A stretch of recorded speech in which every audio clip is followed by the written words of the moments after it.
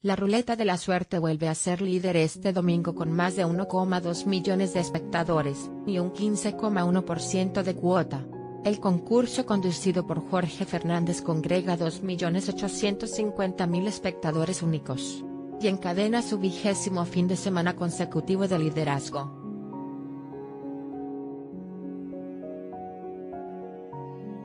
Los informativos de Antena 3 son los más vistos, un día más con más de 1,7 millones de espectadores, y un 17,1% de media. La edición de sobremesa es lo más visto del domingo con más de 2 millones de espectadores, un 20% de cuota, y 3.267.000 espectadores únicos. La edición de la noche, también líder con el 14,1% de cuota,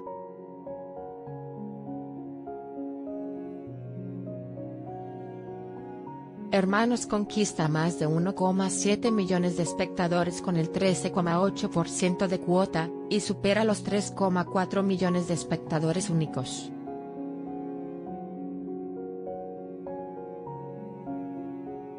Infiel logra máximo histórico en cuota con un 18,5%, que alcanza más de 1,5 millones de espectadores, y 2.748.000 espectadores únicos.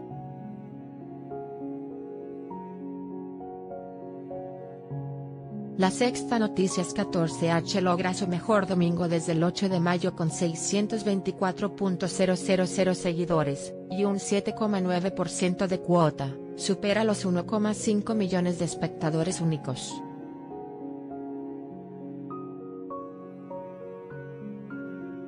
El cine de la noche las 15 y 17 Tren a París lidera sobre su rival con un 6%, máxima cuota del año, y 3,4 millones de espectadores únicos.